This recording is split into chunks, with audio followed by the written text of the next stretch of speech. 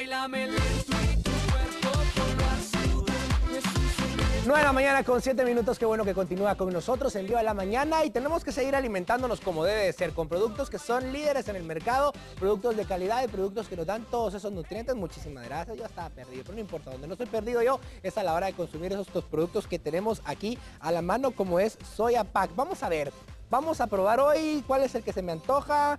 El este, el natural, lo vamos a abrir, claro que sí, vamos a abrir eh, este porque está verdaderamente delicioso. Vamos a probar el de natural, ya probábamos la semana pasada el de fresa, pero hoy vamos a disfrutar el natural porque también queremos disfrutar de esos, de esos sabores diferentes, esas opciones que tiene Soya Pack para nosotros. Y es que usted ya lo sabe, es nutritivo y sabroso, es un alimento en polvo a base de proteínas de soya, es ideal en la dieta de niños, de jóvenes y de adultos también. Y ahí tenemos información muy importante para compartir con todos ustedes. Ponga mucha atención porque de acuerdo al Departamento de Alimentos y Medicamentos de los Estados Unidos de Norteamérica, el consumo de 25 gramos diarios de proteína de soya como parte de una dieta baja en grasas saturadas y colesterol puede reducir el riesgo de enfermedades cardiovasculares. Hay diferentes presentaciones, hay diferentes sabores de Soya Pack para que usted y toda su familia disfruten de lo rico, disfruten de lo nutritivo que tiene la soya para todos nosotros. Así que ya lo sabe, a consumir Soya Pack como debe ser. Yo me preparé el mío y con todo le vamos a entrar. Así que ya lo sabe, Soya Pack. 9 de la mañana con 9 minutos, vamos del otro lado del set. Está Alejandro y está nuestro querido Kenny Monzón. Información importante también.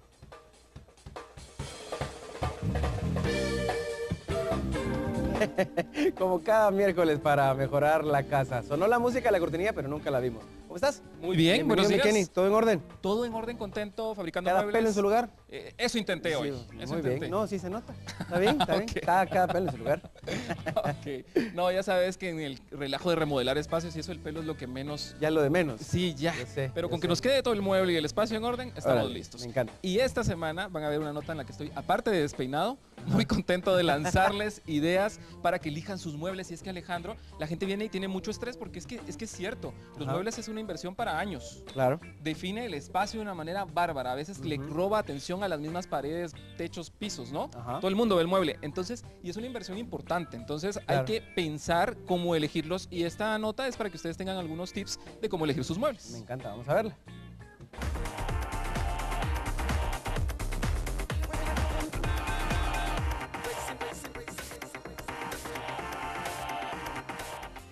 Apasionados del diseño, bienvenidos a nuestro estudio desde donde transformamos espacios, fabricamos muebles y sobre todo todas las semanas les lanzamos ideas para que ustedes mismos hagan grandes cambios en casa.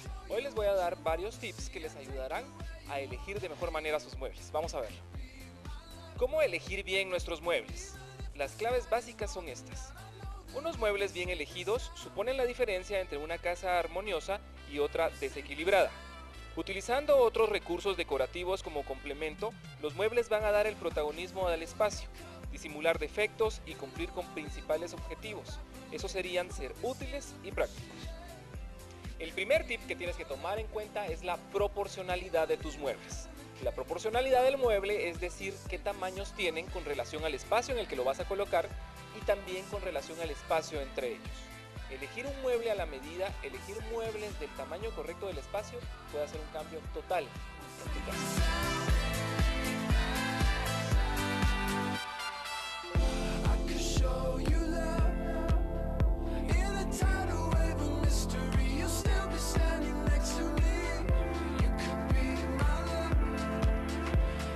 Equilibrio y orden. Esto es fundamental a la hora de elegir tus muebles. Debes de manejar un equilibrio entre ellos para que pertenezcan a la misma tendencia, a la misma línea de muebles, que tengan el mismo color de madera. Eso le dará una armonía que permitirá un conjunto mucho más interesante.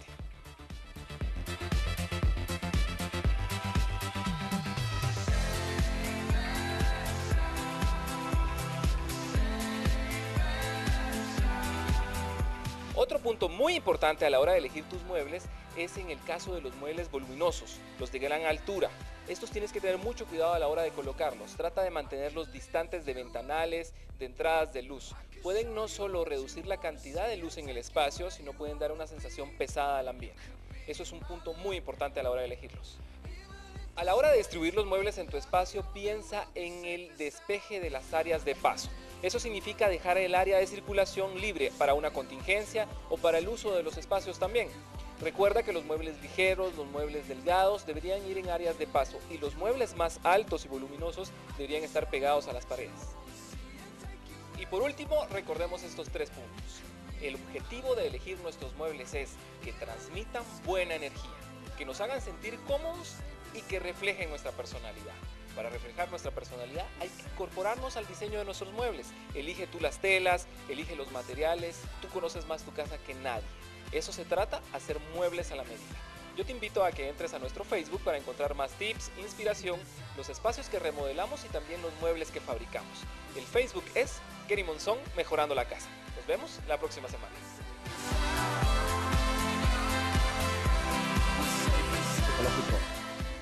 Bueno, de- de- deja de discutir, deja de discutir. Estamos ahí discutiendo materiales y demás, la tendencia de lo natural contra lo sintético por en pro del planeta. En pro del planeta, pasa? claro. No, la verdad que siempre hay opciones y hay efectos tan realistas porque estamos hablando de muebles, de texturas, de cuero. Eso es lo que hablábamos mientras estábamos en la nota.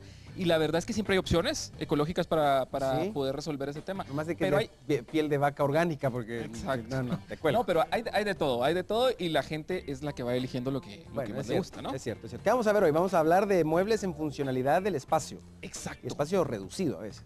La mayoría de veces. si te das cuenta, los apartamentos, que es el furor y que Guatemala ha despegado mucho verticalmente la construcción, entonces el espacio es fundamental.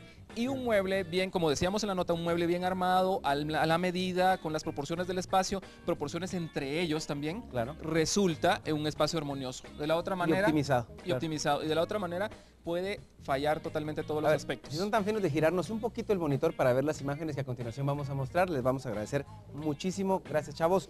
Ahí estamos. Ahí estamos. Ahora sí, a las 9 con 14, por cierto. Vamos, vamos a la primera imagen. Ok, primera imagen. Realmente eh, uno de los muebles que más funciona para espacios pequeños, si vemos es reducido el espacio, es este tipo de sala que es una sala seccional, una sala en L. Esto funciona muy bien, ¿por qué?